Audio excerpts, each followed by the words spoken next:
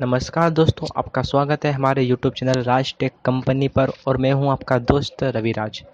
दोस्तों, ये हमारे यूट्यूब चैनल पर सेकंड सीरीज़ है पेंटर शॉप सीखने की पेंटर सीखने की। तो फ़र्स्ट सीरीज़ में आपको पूरा बता चुका हूँ कि टूल बॉक्स का कैसे यूज़ करते हैं। ये सेकंड सीरीज़ में है।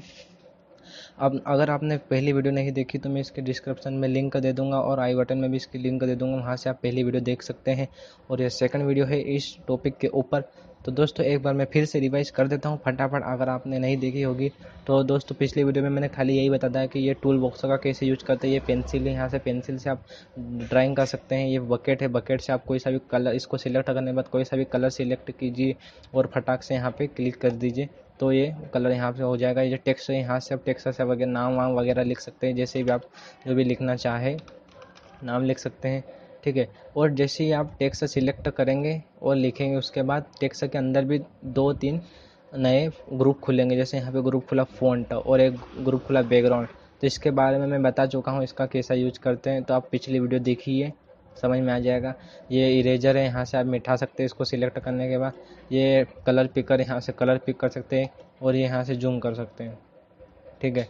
अब आते हैं नेक्स्ट चीज़ पर। ठीक है? तो अब नेक्स्ट चीज़ में मैं आपको बताने चाहता हूँ। ये हमने टूल बॉक्स कंप्लीट किया, अब हम आते हैं ब्रश पर। ब्रश का कैसे यूज़ करते हैं? ब्रशेस ब्रशेस का कैसे यूज़ करते हैं? जैसे मैंने मान लिया ब्रश सिलेक्ट किया। अब यहाँ पे छः चीज़ें हैं और सातवीं चीज़ें सीखने के लिए ये ब्रश है। ब्रश पे यूज़ किया। अब मैं जो भी यहाँ पे करूँगा जो भी ड्राइंग बना रहा हूँ, ये ब्रश से बन रही है। पेंसिल से नहीं बन रही। पेंसिल से अलग बनती है। हमने ब्रश सिलेक्ट किया। और यहाँ पे ब्रश सिलेक्ट करने के बाद हम कोई सा भी कलर ले लेते हैं, ये कलर लेते हैं। और यहाँ पे जो साइज़ दिया है, ये ब्रश का साइज़ है। यहाँ पे ब्रश है, ये ब्रश का साइज़ है। आप साइज़ भी बड़ा छोटा कर सकते हैं। अभी हमारा जो साइज़ है, ये साइज़ है। अब जैसे नीचे ले जाएँगे तो ब्रश का थोड़ा साइज़ मोटा हो जाएगा। थोड़ा ब्रश आप देख रहे हैं, थोड़ा मोटा चल रहा है। और अगर साइज़ पतला करेंगे तो देखिए थोड़ा पतला चलेगा। ये हमारा ब्रश का साइज़ है, ये हमारा ब्रश का कलर है। और अगर यहाँ पे ब्रश आपको ये नहीं जम रहा तो नीचे बहुत सारे और यहाँ पे जो एरो बना है, इसके नीचे बहुत सारे और ब्रश है। इस पर क्लिक कीजिए नए नए ब्रश खुलेंगे। आपको अगर जो भी लेना हो, ले सकते हैं। आपको ये सिलेक्ट करना है, बस जाइए उसके ऊपर क्लिक कीजिए तो आ जाएगा। जैसे मान लीजिए मैंने ये लिया, तब इसका ये वाला डिज़ाइन मेरे को करना है तो ये वाला ब्रश है। कोई से और कलर से करना है तो ये कलर लिया। जैसे ये बहुत सारे ब्रश यहाँ पे नीचे दिए गए हैं। ये वाला स्प्रे वाला लेना तो मैं स्प्रे वाला कर सकता हूँ। और इसमें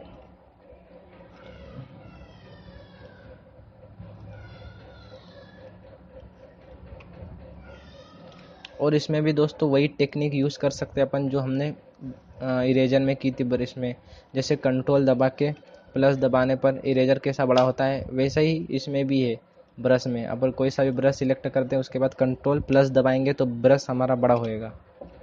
ये इतना बड़ा हो चुका है, अब नहीं बड़ा होगा। और उसके बाद कंट्रोल माइनस दबाएँगे। कंट्रोल दबा के माइनस दबाए रखेंगे। कंट्रोल को दबाए रखना है और माइनस दबाना तो ब्रश छोटा होता जाएगा। तो ये टेक्निक आप यूज़ करके देखिएगा।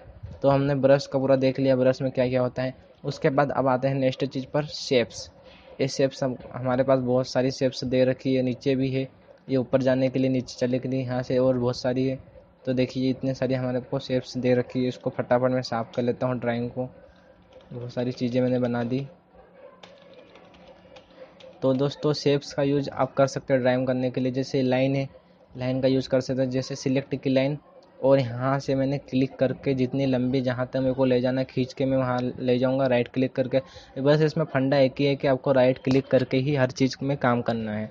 तो जैसे आप राइट क्लिक करके जिसको जहाँ जितना खींच, लंबा खींचना ले जा सकते हो।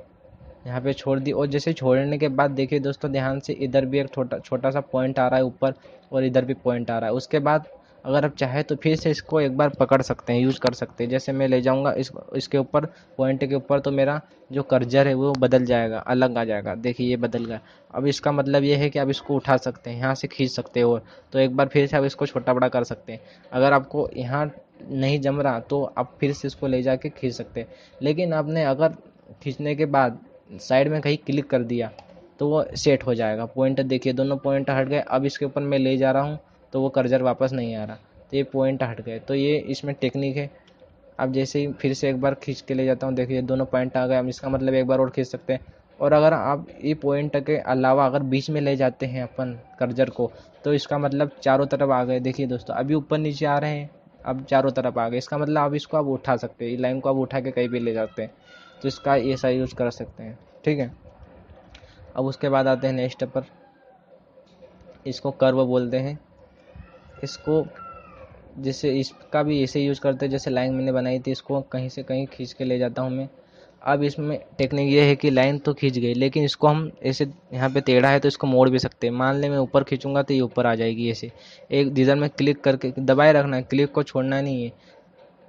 जैसे नीचे ले जाऊँगा तो नीचे ले, ले आ जाएगी ऐसी जैसे मैंने लाइन फिर से खींची ये वाली लाइन लेके है ना? कर कर्व लेके। उसके बाद मैंने लाइन खींची उसके बाद मैंने कहीं भी क्लिक नहीं किया। जैसे ही फिर से बताता हूँ लाइन खींची अब कहीं भी क्लिक नहीं करना है। आप जिधर क्लिक करोगे लाइन उधर आ जाएगी। अपन इधर ऊपर क्लिक करेंगे तो लाइन ऊपर खींची जाएगी।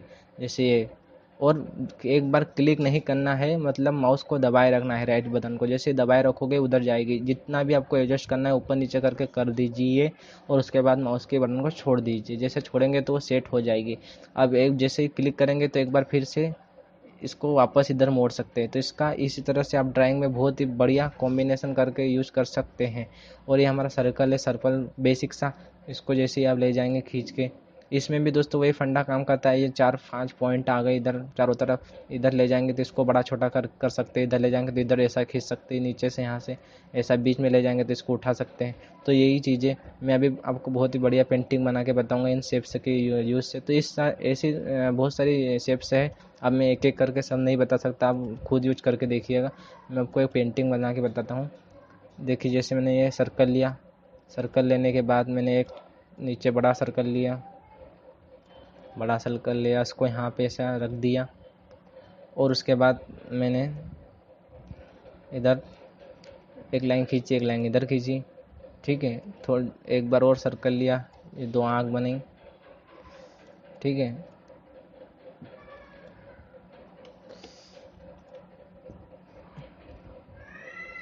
इधर मैं इसके नाक बना देता हूँ ऐसे लाइन बना के खींच के। और यहाँ से ऊपर से भी इसको बंद करना पड़ेगा। ठीक है? अब एक इसका यूज़ कैसे करते हैं? ये लाइन खींची हमने और नीचे खींचा ये। समझ गए दोस्तों? ये। तो अब ब्रश लेते हैं। ब्रश हम थोड़ा साइज़ बड़ा कर लेते हैं। ज़्यादा बड़ा हो गया थोड़ा छोटा कर लेते हैं। आ, हाँ ब्लैक कलर ले लेते हैं।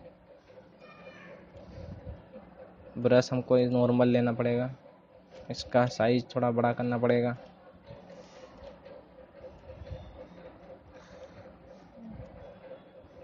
ठीक है? अब हमको क्या करना है? बकेट लेना बकेट से हम वाइट कलर लेंगे, इसके आँख में वाइट कलर पटकेंगे, गिराएँगे। उसके बाद स्नोमैन हमने स्नोमैन बनाया, उसके बाद स्नोमैन पीछे आइस के लिए ऐसा कर लें तो देखिए, बहुत ही बढ़िया पेंटिंग बन चुकी है, आप ऐसी पेंटिंग बना सकते हैं। तो दोस्तों, मैं आपको पिछली वीडियो में टूल के बारे में बता चुका हूँ, इस वीडियो में मैंने ब्रश और शेप के बारे में बताया। तो बस आज की वीडियो में इतना ही। अगली वीडियो में मैं फिर मिलता हूँ, अगली वीडियो में और आपको एक बताऊँगा, नई वीडियो में आपको।